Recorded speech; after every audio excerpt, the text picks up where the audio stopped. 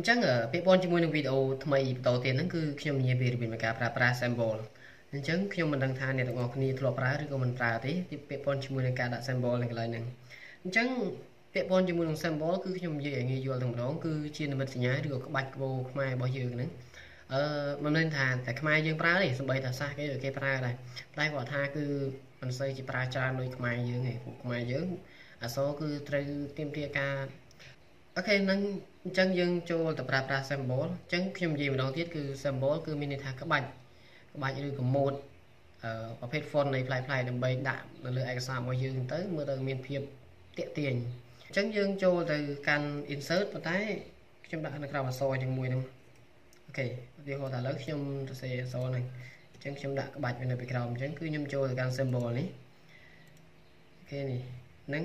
ឧមាថាឥឡូវខ្ញុំឆ្លាញ់ទៅលើក្បាច់មួយណាដើម្បីដាក់ពីក្រោមអក្សរហ្នឹងខ្ញុំជ្រើសរើសយកប្រភេទក្បាច់ហ្នឹងមួយហើយខ្ញុំ select លើវាអញ្ចឹងមកខ្ញុំចុច insert អូខេសុំទោសខ្ញុំខ្ញុំជ្រើសរើសប្រភេទ font ផ្សេង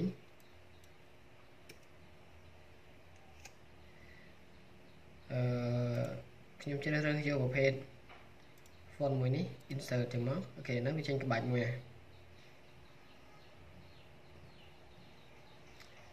អូខេខ្ញុំយកតែប៉ុណ្្នឹងមកឧទាហរណ៍ក៏បានដែរអញ្ចឹងអ្នកទាំងអស់គ្នាឃើញស្រាប់ហើយកន្លែងនេះអាហ្នឹងយើងបានក្បាច់មួយយើងអាចពង្រីកវាមកយើងដាក់ពីក្រោមអក្សររបស់យើងហ្នឹងយើងនឹងរំកដាលមកហើយយើងពង្រួញវាដើម្បីឲ្យវាស៊ីគ្នាបន្តិច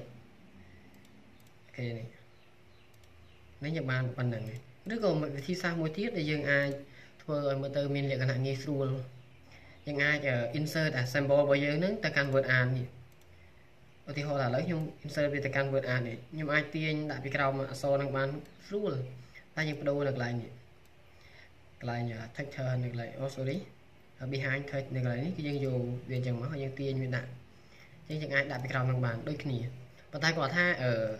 យើងធ្វើតាមនេះទោះយើងភ្នែករបស់យើងបកកែមើលដែរ បានមើលទៅមានលក្ខណៈស្មើហើយមើលទៅស្អាតសមរម្យអីចឹងតែបើសិនជាអ្នកទាំងអស់គ្នា